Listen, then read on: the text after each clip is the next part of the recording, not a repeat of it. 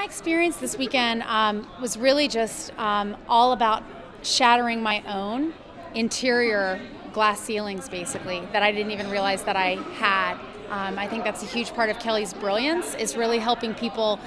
um, just um, bust through all of their own internal barriers um, and to really see that you know any perceived external barrier is really just within their own minds, essentially.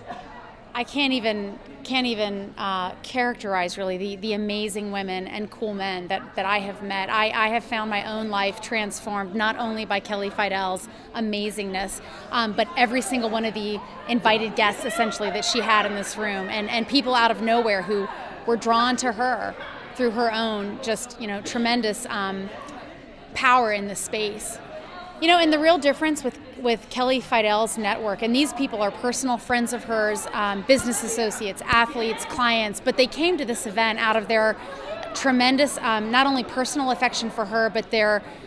reverence really for the movement that she's creating with no glass ceiling. Um, and they are the real deal. These are not surface celebrities who are here for their own purposes. The, these are people um, whose authenticity is just piercing is how i would describe it